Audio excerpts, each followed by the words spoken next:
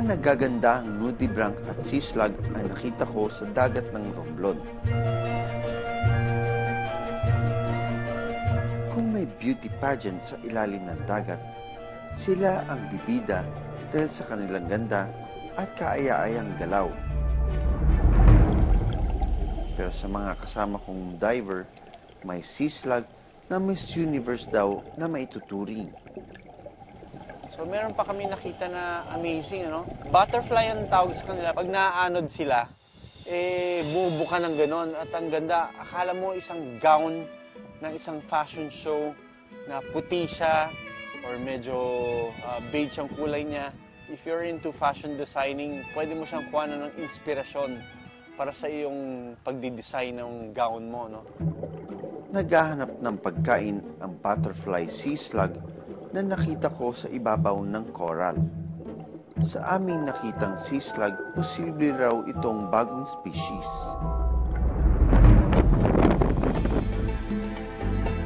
2005 nang simulang idokumento ni Patrick at ng kanyang mga kapatid ang mga butterfly sea slug sa Romblon. When you discover these uh, tiny creatures, how do you know it's it's a new species or a subspecies? Um, how, how do you confirm this one? We take a picture and then we send it to research laboratories. If it's unknown, we have some uh, websites where you can send it on. And uh, the online community is huge. Ipinakita namin ang video ng butterfly sea slug sa isang eksperto.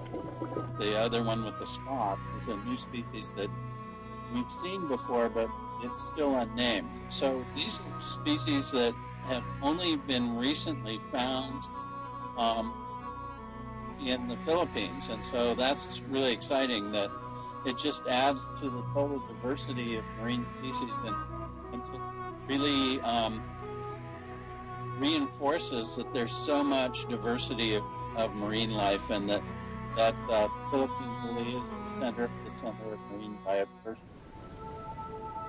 Parte ng tinatawag na Coral Triangle ang bahaging ito ng Romblon.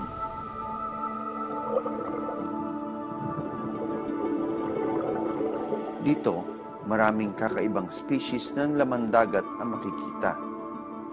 the things that we find is that you know all of these species are really important to the health of the reef and if you have a lot of nudibranchs and different species of nudibranchs and other slugs that is an indication that that it's a very healthy reef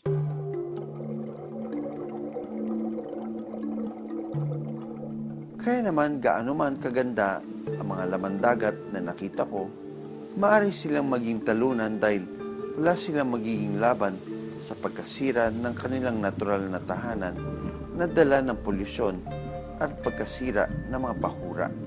The reason why Born to be Wild wants to feature this one is we want to show the Filipinos what treasures we have. And uh, itong mga malilit na treasures na ito, eh, dapat natin ipagmalaki. Dahil talagang binibisita sila ng mga uh, divers sa buong mundo. No?